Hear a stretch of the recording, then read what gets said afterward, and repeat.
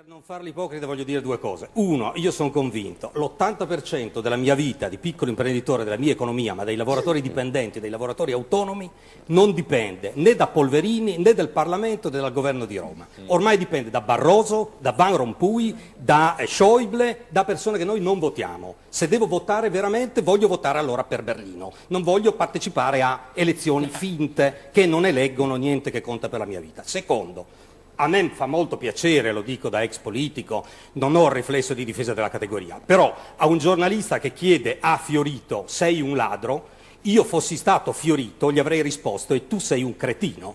Cioè io non capisco come i giornalisti possano un, Dai, un, aspetta, un ceto, no, fammi chiedo scusa, difendere no, Nicola Porro. non Cioè, parlo dei presenti. no, lei vabbè, ha rubato, no, insomma, dico, lo- perché sennò uno va sempre scusi, intorno e i, non fa i- mai I presenti sono Eh. anche i meno disdicevoli e i meno antipatici, ma un corpo giornalistico che per 50 anni, chiedo scusa per la fascia protetta, ha leccato il sedere ad Andreotti e all'andreottismo, alla casta e all'Italia del debito pubblico, si sveglia una mattina e scopre Fiorito. Ma io non lo so, c'è un po' di serietà oppure o continuate a parlare dei partiti cattivi e del sistema politico. Ma dove stanno sti partiti cattivi? Sono marmellata, c'è Batman, Pippo, Pluto, Paperino, il terzo palo di Casini. Ma conta molto, più Fer- conta molto più il partito del Corriere della Sera, il partito di Repubblica, il partito della Stampa, il partito del Sole 24 ore. Però poi sono questi i poteri italiani. legislative di che parlate? sono i Ma non, non mi direte I che il giornalisti potere- possono fare opinione, no? Ma no, ma no, Eh, i giornalisti per 50 anni dovevano dire cosa succedeva in questo paese. Sei non stato- l'avete detto